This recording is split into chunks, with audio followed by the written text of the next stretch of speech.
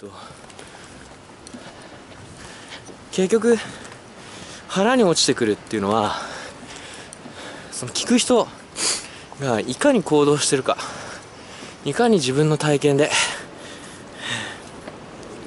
悩んでいるか、まあ、何かにぶち当たってるかそういう時にやっと、えー、腑に落ちてくると。実際使えるものになる。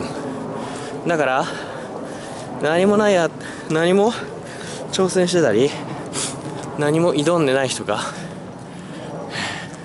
あ、挑戦っていうのは別にどんなものを挑戦っていうのかは別で自分の中の挑戦ですからね。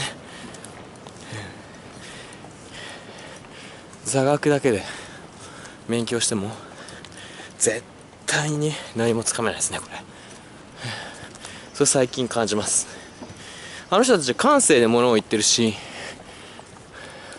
そこを捉えられるのは感性でしかないですね。